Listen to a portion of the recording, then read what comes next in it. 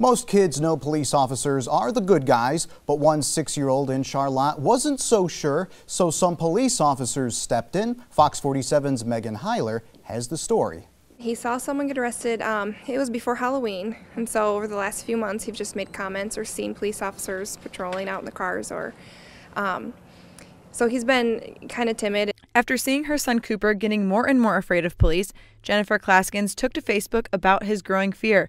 That's when the Charlotte Police Department stepped in and scheduled a special day for the six year old. We went in there, we shared cookies and chatted with him a little bit. He got a tour of the police cars, he got to do the lights and the siren and talk through the intercom. And um, he just, it, it went really well.